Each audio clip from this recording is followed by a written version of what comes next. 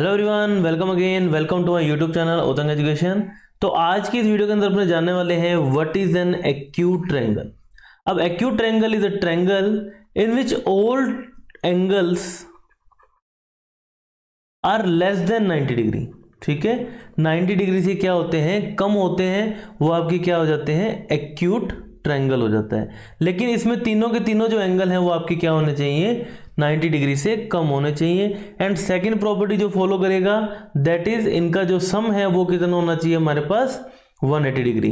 तो आप देखिए, अगर अपने बात करें इस एग्जांपल वन की तो 65 प्लस 85 तो इन्हें आप ऐड करेंगे तो 150 150 प्लस 30 डिग्री, ये हो गया इनका जो सम है आपके पास। 180 डिग्री। आपकी जो ट्रेंगल की प्रॉपर्टी फॉलो कर रहा है which is sum of all angles of triangle is 180 degree. उसके बाद में जो यहाँ पर देखिए 65 is less than 90 degree. 85 is less than 90 degree and 30 degree is less than 90 degree. तो यहाँ पर क्या है, ये देखिए जो ट्रायंगल्स हैं आपके 90 डिग्री से लेस हैं। सो इस ट्रायंगल इज़ एक्यूट ट्रायंगल ठीक है? वैसे ही अगर अपने बात करें इस सेकंड की तो यहाँ पर देखिए आपको कोई भी एंगल नहीं गिवन है बट ये लाइंस ये जो आर्क्स हैं आपको गिवन है। अब इस आर्क्स का मतलब क्या है कि तीनों के तीनों जो आर्क हैं, क्या है? इक्वल हैं। तो यहाँ पर देखिए, अगर मैं मानू इसे वन टू एंड थ्री तो ये थ्री आर्क्स हैं, ठीक है?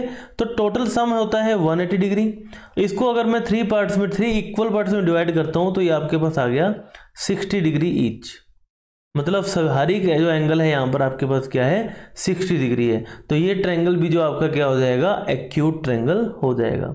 Again this is a classification on the basis of angle video अच्छी लगी हो तो इसे लाइक करें। Have a nice day bye bye